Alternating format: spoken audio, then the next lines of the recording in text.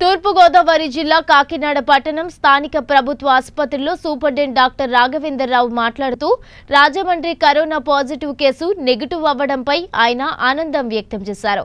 ఇందులో భాగంగా ఆయన నైన్టీన్ న్యూస్తో మాట్లాడుతూ కరోనా నివారణకు తగు చర్యలు తీసుకుంటున్నామని ప్రజలెవరూ భయభ్రాంతులు కావద్దని వివరించారు.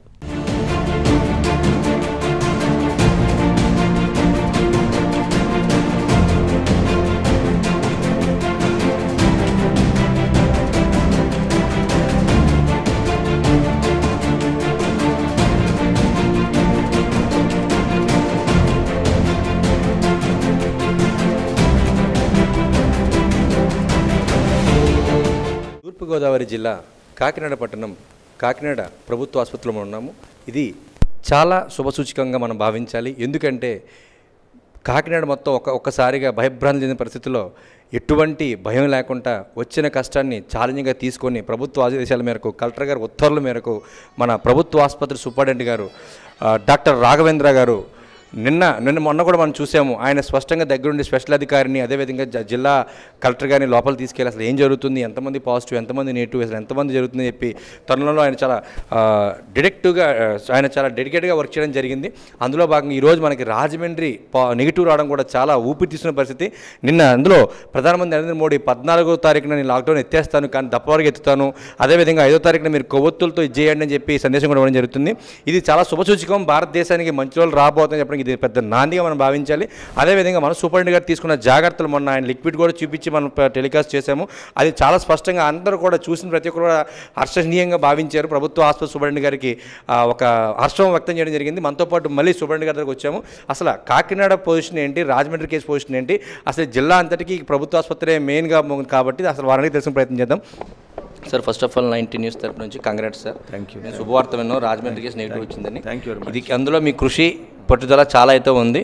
సో ఇంక చెప్పండి సార్ ఎట్లా ఉంది? ఇప్పుడు దాకా ఉన్న నెగిటివ్ కేసులు ఎలా ఉన్నాయి? పాజిటివ్ కేసులు ఉన్నాయి? ఏ రకంగా సందేశం? ఇప్పుడు మన జిల్లాలో మొత్తం తొమ్మిది పాజిటివ్ కేసులు ఉన్నాయి.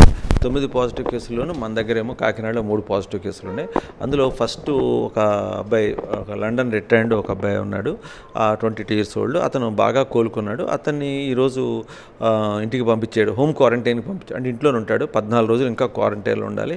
ఆ అబ్బాయిని ఈరోజు పంపించడం జరిగింది. సో ఇది చాలా శుభసూచకం. అతను ఏంటంటే ఇది ఒక మెసేజ్ అనమాట అంటే ఇప్పుడు వాట్సాప్లో వాటిలోనూ సోషల్ మీడియాలో చాలా చాలా ఒక భయభ్రాంతులు గురి చేసేటువంటి వాట్సాప్ మెసేజ్లు పెడుతున్నారు. ఇదేమీ కాదు ఇది అన్ని జబ్బులాగే ఇది కూడా మందులు వాడితే తగ్గేది కాదంటే కొంచెం ఎర్లీగా చూసుకోవాలి. ఇమీడియట్గా అంటే మన అనుమానం వచ్చిన వెంటనే అంటే సిమ్టమ్స్ ఉన్న వెంటనే డాక్టర్ని సంప్రదించడం టెస్టులు చేయించుకోవడం మందులు వాడటం హాస్పిటల్ అడ్మిట్ అవ్వడం లేకపోతే హోమ్ క్వారంటైన్లో ఉండటం లేకపోతే ఇట్లాగ చేయడం వల్ల మనం చాలా మట్టుకి చాలా మటుకు మనం మనం కాపాడుకోగలం కాబట్టి ప్రతి వాళ్ళు కూడా దీన్ని గుర్తుపెట్టుకొని దాన్ని చాలా మనం మనం మనం కాపాడుకోవాలి మన కుటుంబాన్ని కాపాడాలి మన సమాజాన్ని మన దేశాన్ని కూడా మనం కాపాడుకోగల మనం చేసుకోవడం మంచిది.